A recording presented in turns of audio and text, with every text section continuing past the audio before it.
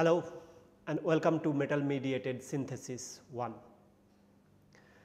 We have seen metals are playing a crucial role in a number of reactions.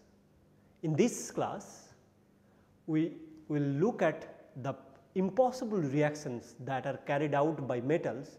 In absence of metals, such reaction will not be possible at all. Those includes carbon carbon bond formation of the most difficult kind, carbon nitrogen or carbon other heteroatom bond formations.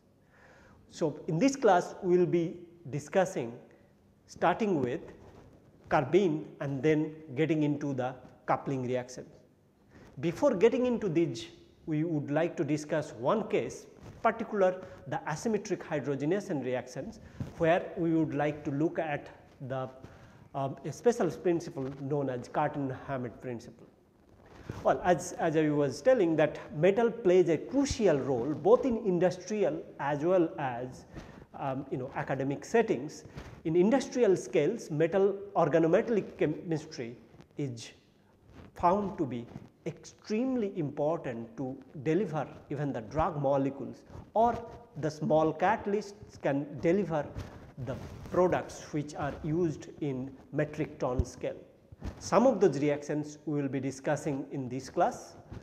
Most importantly, we have already kind of having some initial background on the fundamentals of the organometallic chemistry such as oxidative addition, reductive elimination, and then insertion elimination reactions more specifically beta insertion and beta migratory insertion and elimination reactions and as well as these alpha migratory insertion and elimination reactions. These fundamental reactions types will be discussed in context of each and every catalytic cycle and we will be able to show that these are the basic principles based on which different catalytic reactions are operating. So, let us look at the syllabus and then go step wise for discussion about each of these topic in details.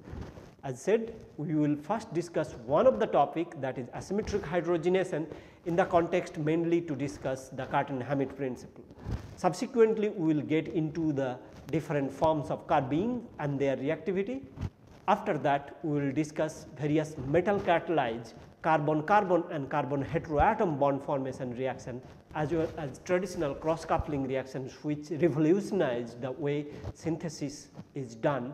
The difficult reactions is delivered only by organometallic chemistry, no other catalytic cycle, no other organic transformation can usually reach up to these molecules.